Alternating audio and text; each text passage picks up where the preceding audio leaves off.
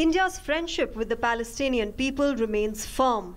This is what External Affairs Minister Sushma Swaraj conveyed to the Palestinian leadership in Ramallah during her visit to the nation. In her meeting with President Mahmoud Abbas, the External Affairs Minister reiterated New Delhi's solidarity with the people of Palestine.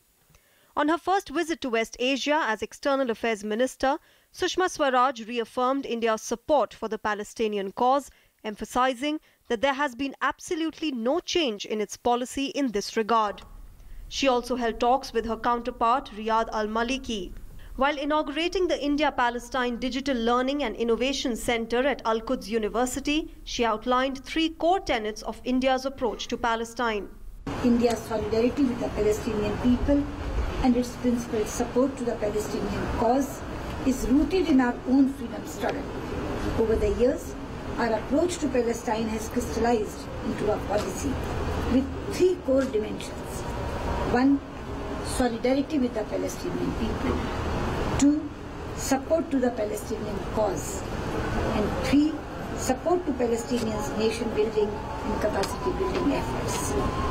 The entire Indian political leadership remains steadfastly committed to these policies. During their talks, the Palestinian side sought India's participation in the West Asia peace process, saying that its wisdom and political insight can help diffuse crisis in the region.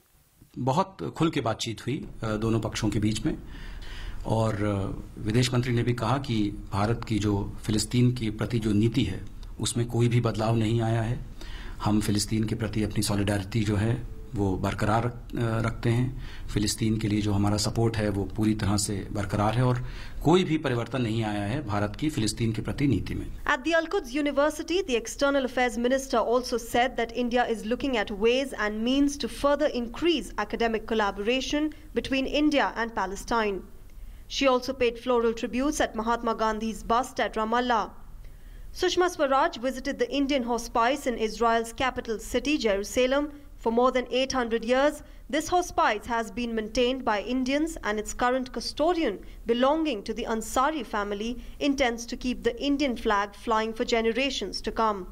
Swaraj visited a museum in Bethlehem where she was shown the birthplace of Jesus Christ.